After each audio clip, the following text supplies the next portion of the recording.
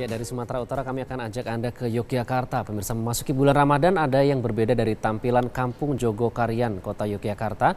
Pasalnya di bulan suci kampung ini berubah menjadi pasar kuliner jelang buka puasa yang kemudian menjadi incaran warga dan wisatawan. Untuk informasi selengkapnya kita langsung bergabung bersama Clara Alverina langsung dari Kampung Jogokarian, Yogyakarta. Clara bisa Anda gambarkan bagaimana kemeriahan di sana pada hari pertama Ramadan ini?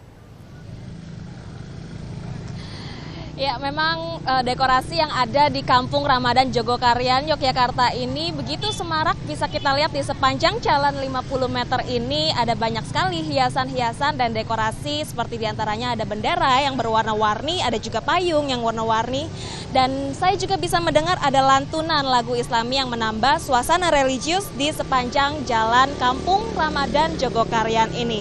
Nah, di sepanjang jalan ini juga di bulan Ramadan ada sekitar 280 pedagang di Kampung Jogokarian yang berjualan menjelang jam-jam puasa. Nah, cocok sekali untuk ngabuburit uh, atau berburu makanan dan minuman menjelang buka puasa. Nah, selain itu juga ada 1.200 porsi takjil setiap hari di kampung Ramadan.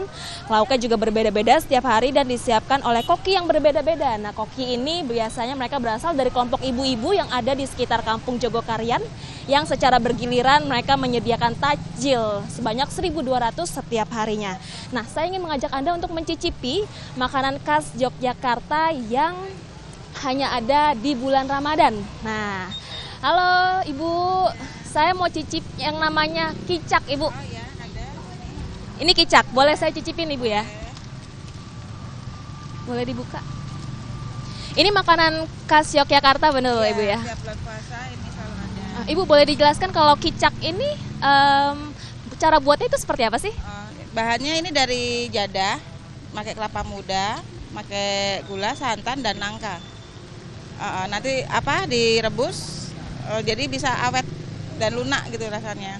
Jadi ini makanan kicak ini hanya hadir di bulan Ramadan? Ya, adanya di bulan Ramadan aja. Ramadan. Saya nanti mau beli untuk buka puasa ya Ibu ya nanti ya.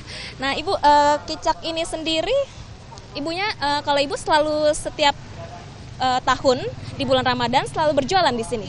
Iya, tiap tahun kita ada di sini. Sudah dari tahun berapa Ibu? Kita sudah sekitar lima tahun.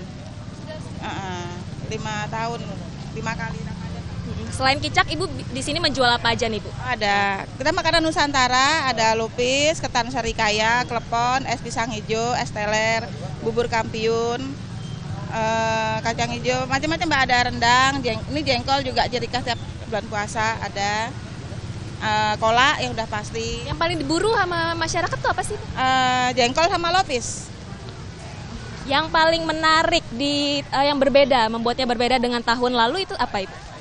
Tahun ini mungkin kita apa uh, rendang rendang tetap sih ada sebenarnya cuma kita ada variannya rendang pakai kacang merah daging pakai kacang merah Terima kasih banyak ya ibu ya untuk waktunya Ya, memang pemirsa di Kampung Ramadan Jogokarian ini banyak menyajikan makanan yang cocok sekali untuk ngabuburit dan menambah e, meningkatkan perekonomian bagi Kampung Ramadan di Jogokarian ini khususnya di bulan puasa. Dari Yogyakarta kembali ke Anda di studio. Ya, Clara Alverina melaporkan langsung dari Kampung Jogokarian, Yogyakarta. Terima kasih.